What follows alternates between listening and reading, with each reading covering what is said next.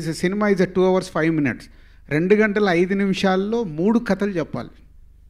It's very tough job so దానికి music director is very important Thaman is done is extraordinary job అంటే ఏదైనా message లాంటిది ఏదైనా ఉంటుందా? అంటే మీ ప్రతి సినిమాలో ఎంతో కొంత no message no message feelings మెసేజ్లు చెప్తే ఎవరు చూడరమ్మా? ఓన్లీ ఫీలింగ్స్ మన హృదయంలో నుంచి వచ్చే ఫీలింగ్స్ కనెక్ట్ అవుతే చూస్తాం. ఫీలింగ్స్ ఉంటాయి. అంటే ఆడియన్స్ కనెక్ట్ అవుతుంది అంటారు హండ్రెడ్ పర్సెంట్ నైంటీ నైన్ కూడా కాదు వంద.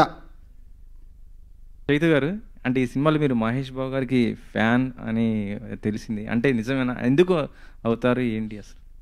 అంటే ఈ సినిమా నా అభిరామ్ జర్నీ త్రూ ట్రావెల్ అవుతూ ఉంటుందండి. ఒక స్కూల్కు రోడ్ నుంచి ఒక ఫిఫ్టీన్ సిక్స్టీన్ ఇయర్ టీనేజ్ నుంచి థర్టీ ఫైవ్ థర్టీ సిక్స్ తను యూఎస్కి వెళ్ళి ఒక స్టార్టప్ యాప్ స్టార్ట్ చేసి పెద్ద మిలియనర్ అవుతాడు.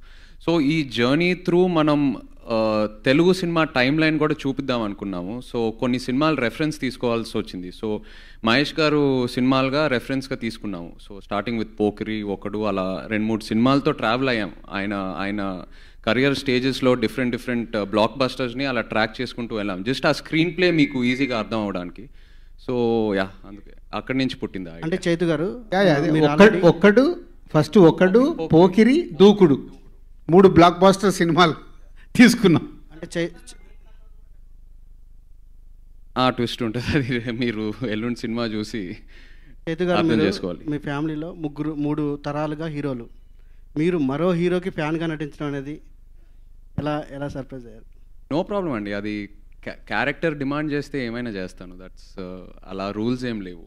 నా ఫ్యామిలీని I they are my biggest inspiration అది అందరికీ తెలుసు. అది uh, uh, అది ఓపెన్గా చెప్తాను. బట్ ఈ సినిమాకి కథకి అది చేయాల్సి వచ్చింది. And I'm as an actor నేను చేస్తానండి. కన్విన్స్ అవుతాయి